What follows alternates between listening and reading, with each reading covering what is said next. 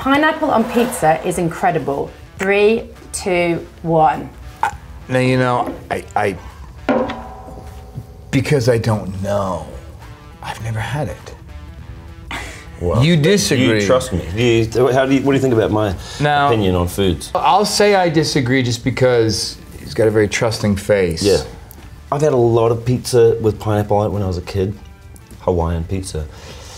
It was very popular. I loved it, but I feel like I've been shamed into not liking it, and I feel Oh, like really? that you actually informed like- then formed my You don't decision. seem then. like I don't know if I really want to do Be say you. Be you. What part of you is I in think I you? can agree. Like that time what? to time, it's like you don't have to say. Just based on that, I never had it.